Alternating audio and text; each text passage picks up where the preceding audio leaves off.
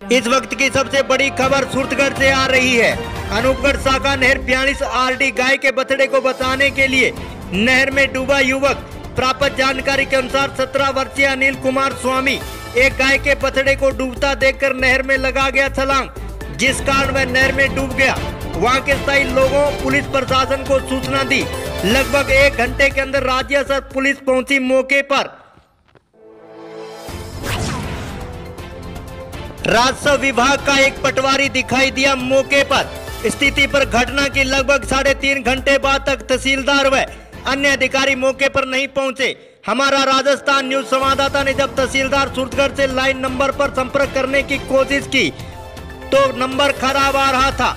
उसके बाद एसडीएम सीता शर्मा से बात की गई तो एसडीएम साहब ने बताया कि मैंने तहसीलदार जी को मौका स्थिति पर भेज दिया है। लेकिन तहसीलदार जी ने बोला कि राजस्व विभाग के पास जाल या गोताखोरों की कोई व्यवस्था नहीं है।